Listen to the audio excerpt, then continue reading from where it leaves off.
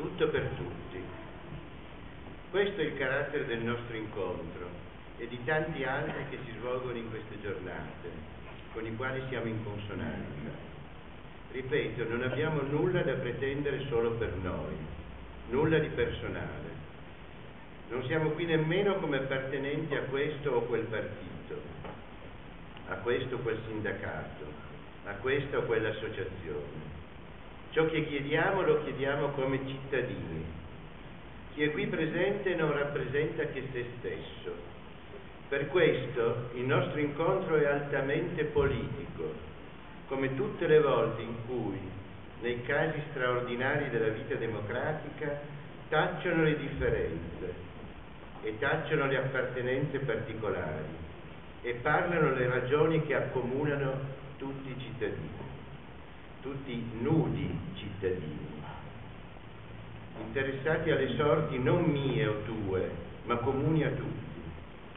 Non siamo qui perciò per sostenere interessi di parte. Non siamo affatto contro i partiti, anzi ci rivolgiamo a loro, di opposizione e di maggioranza, affinché raccolgano il malessere che sale sempre più forte da un paese il cui disgusto cresce nei confronti di chi e di come governa, affinché abbandonino per il momento le rivalità e i calcoli di interesse e diano finalmente sbocco nelle istituzioni alla domanda di speciale assunzione di responsabilità che in questo momento si indirizza a loro, affinché alla fine i cittadini possano rispecchiarsi in chi li rappresenta e sia rinsaldato il rapporto di democrazia tra i primi e i secondi, un rapporto che oggi è visibilmente molto allentato. Non abbiamo da chiedere nulla per noi, non chiediamo né posti né denaro, non siamo sul mercato. È corruzione delle istituzioni.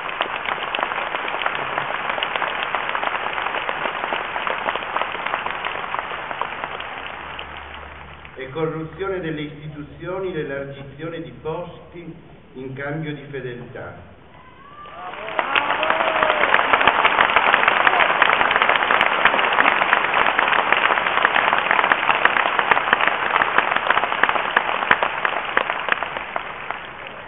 Corruzione delle istituzioni, l'elargizione di posti in cambio di fedeltà e corruzione delle persone, l'elargizione di denaro in cambio di sottomissione e di servizi.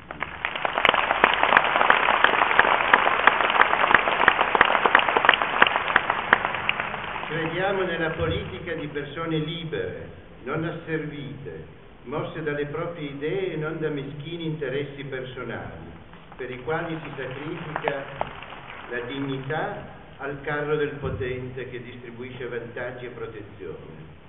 Anzi, chiediamo che cessi questo sistema di corruzione delle coscienze e di avvilimento della democrazia, in un sistema che ha invaso la vita pubblica e l'ha squalificata agli occhi dei cittadini come regime delle clientele.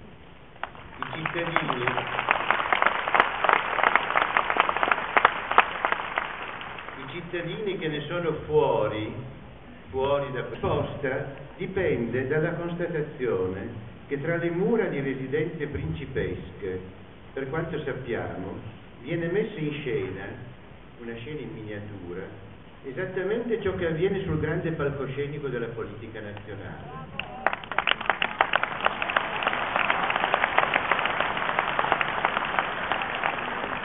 Le notti di Arcore assurgono a simbolo facilmente riconoscibile, in versione postribolare, di una realtà più vasta e che ci riguarda tutti.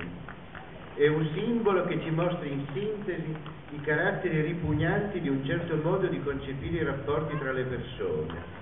Nello scambio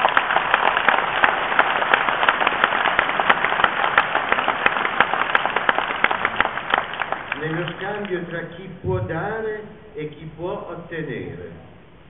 È lo stesso modo che impera e nelle stanze di una certa villa privata e in certi palazzi del potere.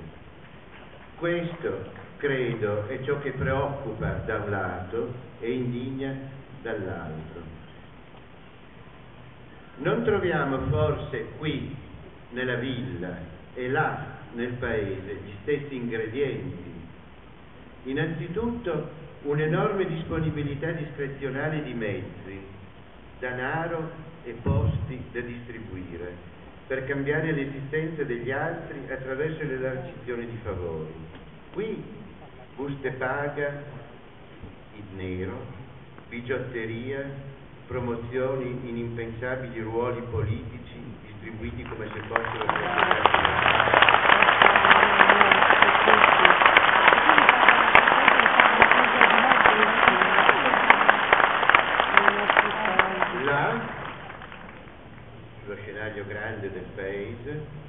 finanziamenti, commesse, protezioni, carriere nelle istituzioni costituzionali. La legge elettorale attuale sembra fatta apposta a questo scopo.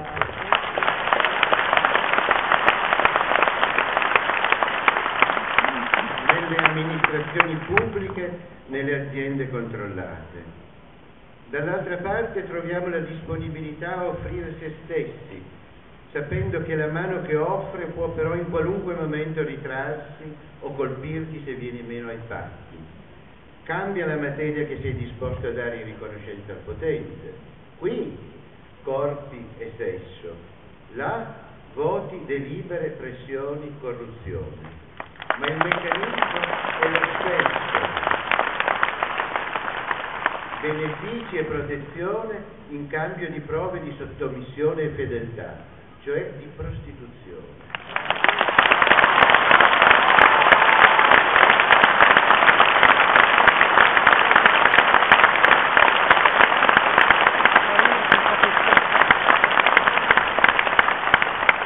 Ed è un meccanismo onnipervasivo che supera la distinzione tra pubblico e privato, perché funziona ogni volta che hai qualcosa da offrire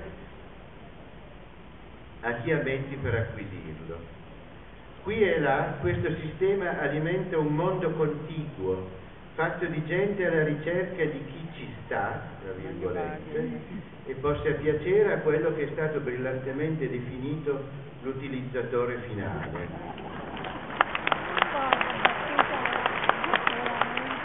Tenoni e faccendieri, gli uni per selezionare e reclutare corpi da concorsi di bellezza e luoghi di malaffare e organizzarne il flusso. Gli altri, i faccendieri, per sondare disponibilità e acquisire fedeltà nei luoghi delle istituzioni dove possono essere utili. Analogo poi è il rapporto che si instaura tra i partecipanti a questi giri del potere. Poiché la legge uguale per tutti sarebbe incompatibile con un tal modo di concepire il potere, la legalità. I rapporti di convivenza molto spesso, anzi quasi sempre, si basano sulla illegalità e a loro volta la producono. Tutti cascano così nelle mani l'uno dell'altro e il giro si avviluppa nella reciprocità dei ricatti. Così chi se ne è messo a capo di questo grande giro è destinato prima o poi a diventarne succubo, a trasformarsi in una vuota maschera che parla, vuole, magari fa la faccia feroce, ma in nome altrui, il suo unico interesse riducendosi progressivamente a non essere rovinato dai suoi sodali.